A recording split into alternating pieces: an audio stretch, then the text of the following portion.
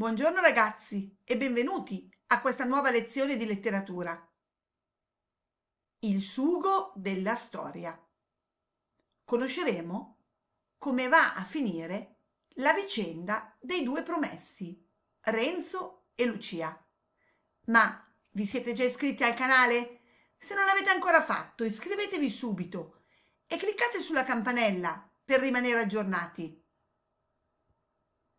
Manzoni, nel capitolo 38, soddisfa l'esigenza del lettore curioso di sapere come si conclude la vicenda dei due promessi. Ti sei mai chiesto in che modo Manzoni termini il suo romanzo I promessi sposi? Osserva attentamente questa immagine.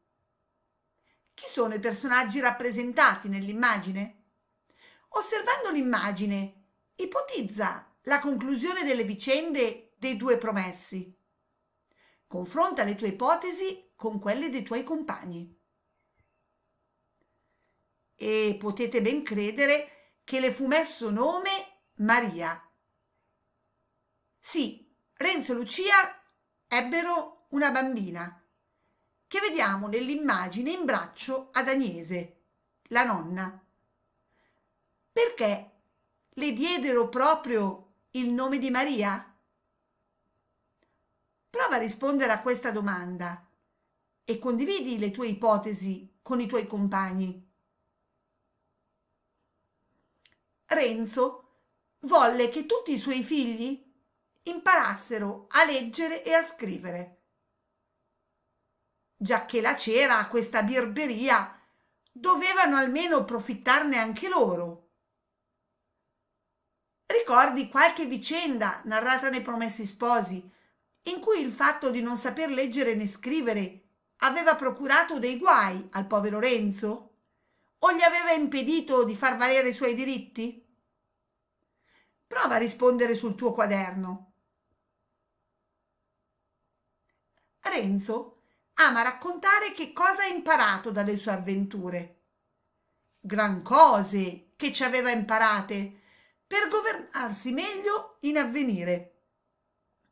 Cerca nel capitolo 38 le cose che Renzo ama ripetere di aver imparate.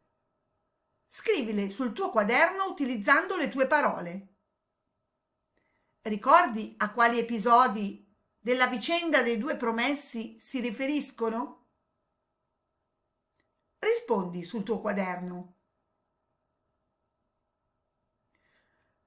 Lucia non è del tutto d'accordo con la conclusione di Renzo. Lo chiama il mio moralista. Non le basta sapere che dai guai che aveva vissuto Renzo aveva imparato molte cose per governarsi meglio in avvenire. Perché? Quale potrebbe essere il pensiero di Lucia? Renzo è convinto che per evitare di mettersi nei guai basti avere un comportamento prudente. Ma Lucia obietta che lei stessa si è trovata ad affrontare gravi pericoli pur non avendo commesso nessuna imprudenza. Dunque, quale insegnamento si può allora ricavare dalla vicenda? Se, come dice Lucia, non è sufficiente evitare di mettersi in situazioni pericolose con una condotta prudente? Prova a rispondere sul tuo quaderno. I guai vengono bensì spesso perché ci si è dato cagione, ma che la condotta più cauta e più innocente non basta a tenerli lontani. Questo è il primo pensiero di Lucia. Lucia, pur non avendo cercato i guai, si trova comunque ad affrontare vicende pericolose. Manzoni fa esprimere a Lucia un sano realismo. Che significa? Perché Manzoni è realista?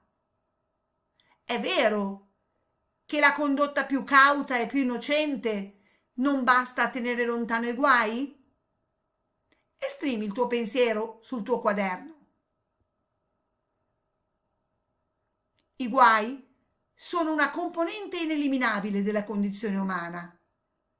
Essi possono manifestarsi o come violenze subite ad opera di altri uomini prepotenti o come sciagure naturali come la peste. E la condotta più prudente non può mettere al riparo da tutto questo. Manzoni è realista perché quanto afferma è esperienza quotidiana di ogni uomo. E quando vengono, per colpa o senza colpa, la fiducia in Dio li raddolcisce. Che cosa significa questa frase pronunciata da Lucia?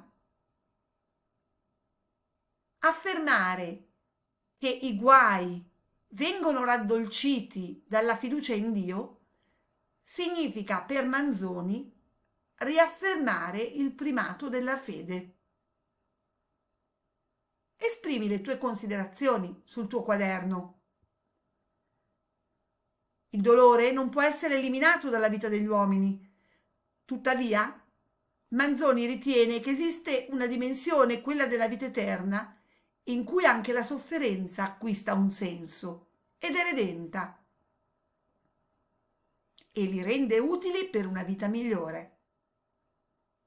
Manzoni esprime il concetto della provvida sventura. Che cosa significa? La fede raddolcisce i guai e addirittura li rende utili per una vita migliore. Che cosa significa la parola sventura? Perché Manzoni la chiama provvida? Prova a spiegarlo sul tuo quaderno. Il dolore terreno può essere rivalutato come strumento attraverso cui si fortifica la fede. Questa non è l'eliminazione dei problemi, ma è la sperimentazione del centuplo qua giù, uno sguardo nuovo sulla realtà.